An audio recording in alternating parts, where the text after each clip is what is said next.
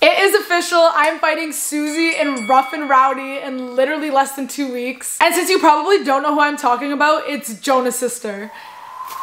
And since you still probably don't know who I'm talking about, they're from David Dobrik's little vlog squad posse. I actually wish I could introduce her in a different way just to be nice, but like her famous birthdays literally says best known for being the sister of Nick Antonyan, which is aka Jonah. I don't know who Nick is, but we love Jonah, what is this?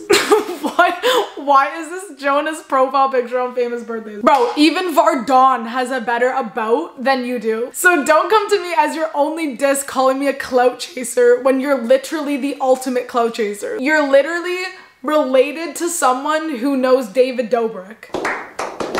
So you can't call me a clout chaser. Like I want to hear a different diss than that, please. So technically Suzy's like a side, side, side piece. If you're watching this right now and you've never seen my face before, you're probably like, who the fuck is this Sarah Farrugia girl fighting Suzy from the Vlog Squad? This is how it went down. So I was in my bed scrolling on Instagram before bed like I usually do, and I came across Suzy's Instagram story and I clicked on it. I read that she was practically begging for someone to fight her because no one in America would. So I was like, let me just send her a text over. So I said, I'm down. Didn't think she was gonna respond to be honest. A few weeks later, I'm filming a YouTube video and I get a DM from Sue's dog. Um, why did Suzy respond to me? Do You know Suzy, like David Dobrik? No.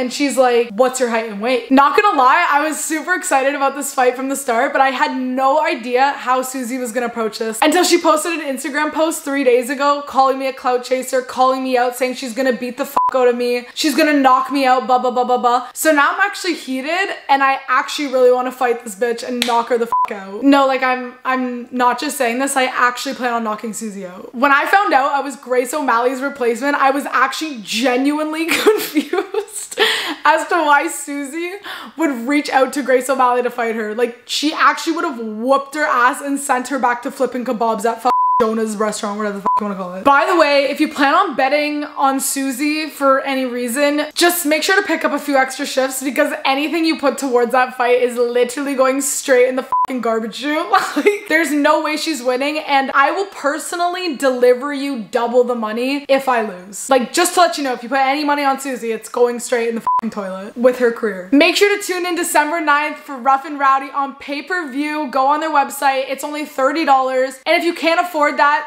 Suzy's OnlyFans subscription's free. At the end of the day, Suzy, call me whatever you want, but I don't think clout chaser is the right word because I didn't have David Dobrik's nipples to suck on my entire career. I'm literally from London, Ontario. I'm trying to make Canada proud and we all love an underdog story. So at the end of the day, I won't be mad if you don't cheer for me, but just know that Suzy, you're going down. See you December 9th.